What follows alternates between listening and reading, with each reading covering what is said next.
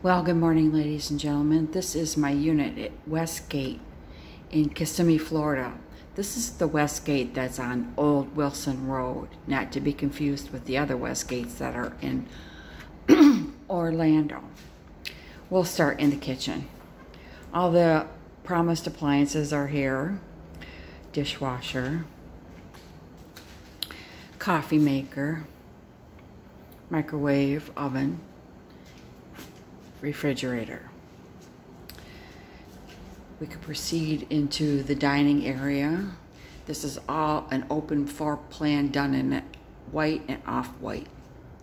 So my roommate wanted a renovated room, so this is what we got.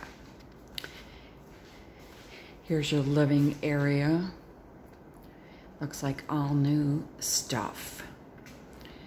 TV and some kind of console. Kind of looks like something from the 60s. This has a little balcony. Um, I'm very impressed. You've got a lounger, a table, and you can look out onto the water park at Westgate.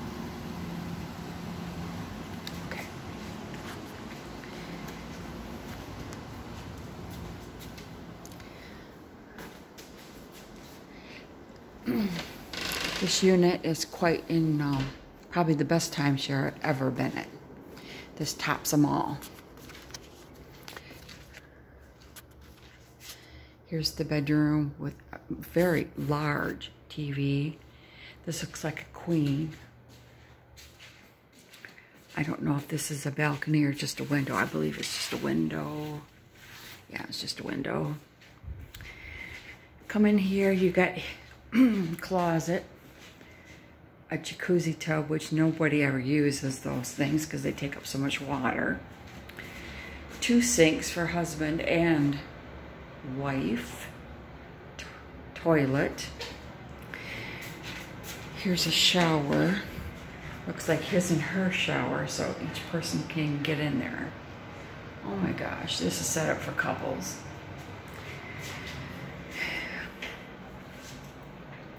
So here's, here's the double sinks.